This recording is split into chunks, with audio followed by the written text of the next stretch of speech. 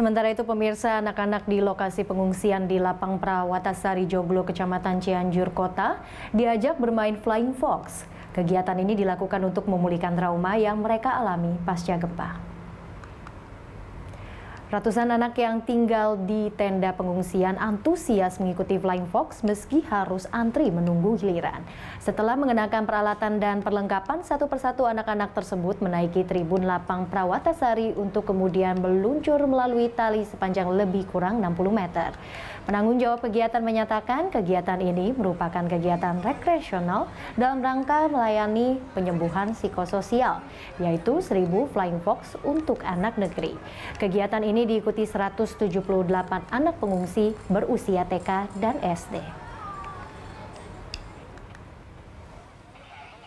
Kami dari komunitas Refilling Education kali ini sedang melakukan aktivitas giat rekreasional dalam dalam rangka layanan dukungan psikososial bentuknya berupa 1000 flying fox untuk anak negeri. Jadi kita masang flying fox di pengungsian yang tujuannya kurang lebih untuk meredakan stres atau tegangan ketika mereka kemarin mengalami demam.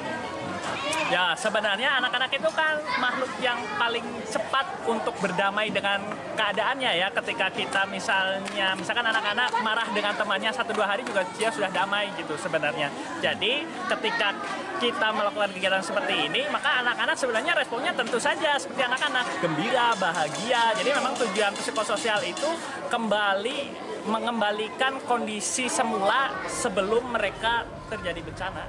Dan untuk mengetahui informasi terkini penanganan gempa Cianjur, kita sudah terhubung dengan rekan guru Permadi yang saat ini berada di lokasi pengungsian di lapangan Prawatasari Joglo Cianjur. Halo, selamat siang guru. Kementerian Kesehatan menyebut akan mulai menerjunkan tim psikolog, psikiater dan juga perawat jiwa untuk uh, membantu para korban gempa mulai hari ini. Apakah di sana juga sudah terbantau ada tim yang hari ini tiba di lokasi? Guru. Uh, iya, selamat siang Ellen dan juga pemirsa. Uh, saat ini saya berada di Lapang Perwatasari, salah satu lokasi uh, pengungsian yang terpusat uh, dan uh, ada sebanyak sekitar 500 orang lebih yang mengungsi di sini.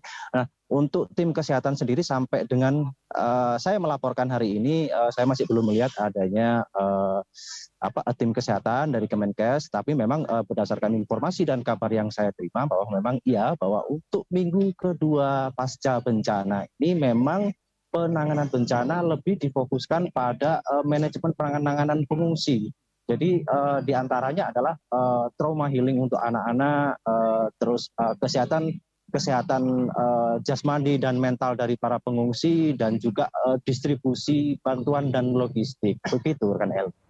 Baik, kemudian ini juga sudah seminggu guru sejak gempa uh, terjadi sejak uh, Senin pekan lalu. Per pagi tadi kami mendapatkan informasi pukul 5 waktu Indonesia Barat BMKG melaporkan ada total 296 gempa susulan. Apakah masih terasa di sana ada gempa susulan hingga siang ini dan juga uh, bagaimana ini nantinya juga mempengaruhi psikologis para pengungsi di sana?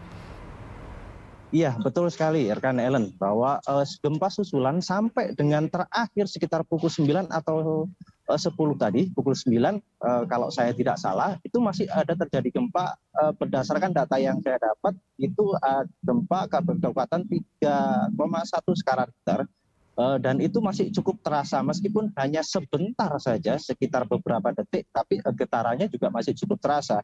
Nah, Eh, gempa-gempa susulan yang masih terus terjadi inilah yang yang juga cukup mempengaruhi uh, psikologis mental dan kejiwaan dari para pengungsi terutama juga anak-anak dan juga lansia. Apalagi yang memang uh, kelompok usia inilah yang cukup mendominasi yang ada yang tinggal di tenda-tenda pengungsian.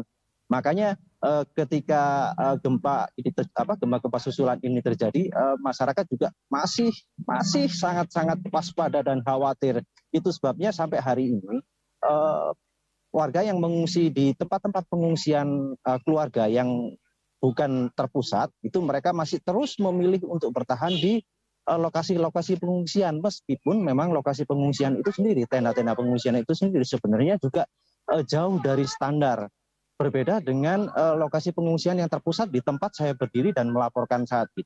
I, apa tenda-tenda lokasi lokasi tenda pengungsi yang keluarga itu yang di dekat-dekat rumah-rumah keluarga itu memang seperti sangat kekurangan seperti air bersih, air minum, uh, terus untuk keberadaan toilet sendiri. Nah ini yang cukup cukup apa uh, selalu uh, di, di, dihadapi oleh uh, masyarakat yang mengungsi di tempat-tempat pengungsian yang tidak terpusat. Uh, demikian juga karena memang uh, sanitasi yang buruk dan juga kurangnya air minum, air bersih untuk konsumsi minum dan memasak.